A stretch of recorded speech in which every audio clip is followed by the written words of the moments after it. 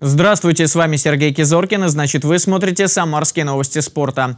Крылья Советов усилились двумя футболистами, нападающим и голкипером. Баскетболисты Самара одержали 4 победы в Москве. Футбольная Сызрань уступила Дзержинскому химику. Одиннадцатый тур первенства профессиональной футбольной лиги в зоне Урал-Поволжья Сызрань-2003 уступила аутсайдеру «Химику» из Дзержинска. Открыли счет сызранцы в начале первого тайма, а во втором химики восстановили равновесие после розыгрыша штрафного. Но хозяева вернули себе преимущество через 10 минут, однако удержать победный результат Сызрань не сумела. Химик до финального свистка организовал пару голов. В итоге 2-3 домашнее поражение Сызрани, и теперь клуб делит четвертое место с Ульяновской «Волгой».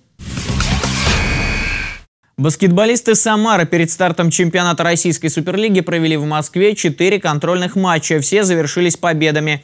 Первыми сдалась МБА 74-63, потом Самара была сильнее Химок Подмосковья 70-54. В повторных матчах с этими же соперниками подопечные Сергея Зазулина вновь показали классную игру. Счет с МБА 77-56, Химки проиграли Самаре 50-44.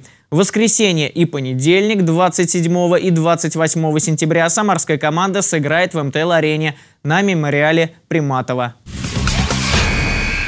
Крылья Советов прибавили в составе на роль нападающего, подошел чилиец Николас Калас. В последнем сезоне нападающий выступал за азербайджанский «Нефть-Чи».